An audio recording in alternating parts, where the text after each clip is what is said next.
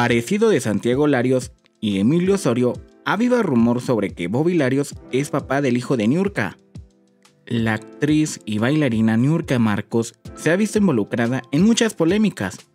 y una de ellas fue el rumor de que su hijo, Emilio Osorio, en realidad es el hijo de Bobby Larios y no de Juan Osorio. Debido a que Bobby y Niurka comenzaron su relación cuando la cubana aún estaba casada con Juan Osorio, comenzaron las especulaciones sobre que Emilio era en realidad hijo de Larios. Y aunque la mujer escándalo, como es conocida la famosa de 55 años, ha aclarado en varias ocasiones que su relación con Bobby comenzó cuando Emiliano ya había nacido, continuando los rumores sobre el padre de su hijo,